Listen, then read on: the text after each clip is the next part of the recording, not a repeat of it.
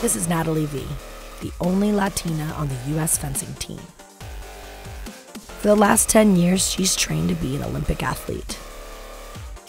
2016 could be her year. I think for the most part, I really enjoyed having long hair and smiling and then beating people up when I put my mask on.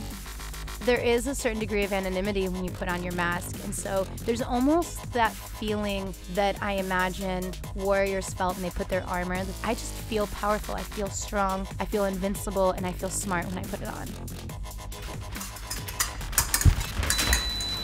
I started fencing in a class of all male fencers. I was the only woman, and I kind of developed a style. Sometimes I feel like I have to, I had to be off timing. If someone hits me hard and they're like, "Oh, sorry," even if it hurt, I'm not going to show that it hurts.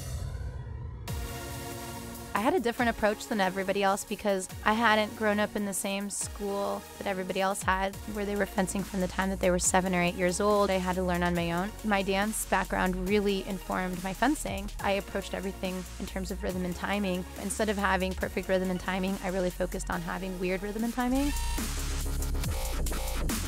That's the way that I hit. I hit in those off moments when people don't expect.